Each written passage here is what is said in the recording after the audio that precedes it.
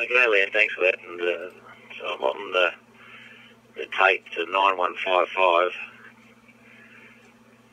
P25 uh, mobile radio at the moment, going through uh, VK4RBX uh, with the Tait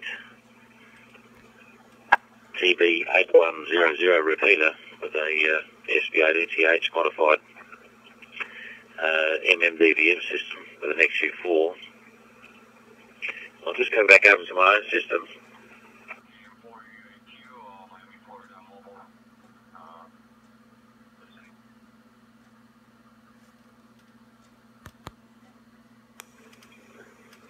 Okay, we'll see how we go here. Hear myself on the other one. I'll just turn the, uh, the other one off so I'm not getting the, the feedback audio. So I'm on my own XTS 3000, which is going from my own repeater, which is two Tait Tango Mike 8110s uh, here, and uh, also running with a uh, XG4 and uh, MMDVM system here. So that uh, should give you give you a comparison of the two.